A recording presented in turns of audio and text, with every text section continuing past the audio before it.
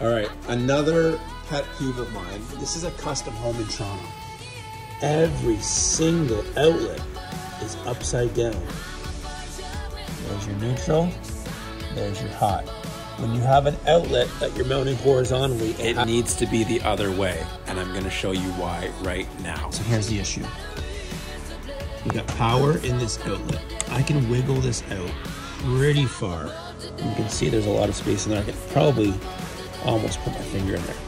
You had a child or anything metal that's above that and falls into that area, it is now going to touch your hot terminal and probably the ground and it's going to short out and cause an issue.